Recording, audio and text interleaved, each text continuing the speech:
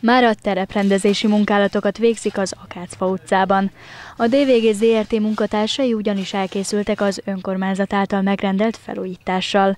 Az Akácfa és a Diófa utca kereszteződésétől egészen a kertvárosi garázsokig felbontották a járda burkolatát, új szegélyeket építettek, majd aszfaltozás helyett letérkövezték az érintett útszakaszt. Körülbelül egy másfél hét alatt végeztünk a kivitelezéssel, Építettünk be két víznyelőrácsot, hogy a meglévő családi házakból a csapadékvíz elvezetésre kerüljön, meg helyreállítottuk a, a zöld területet, szintén, mint a többi körzetben. A 8 számú egyéni választókerületben az Akácfa utcán kívül az Alkotás utca is hamarosan megszépül. Itt jelenleg a 13-as, 14-es és 15-ös házszámok előtti járdaszakasz helyreállítását végzik. A régi rossz állapotban lévő aszfaltburkolatot már elbontották, és az új szegélyek is a helyükre kerültek.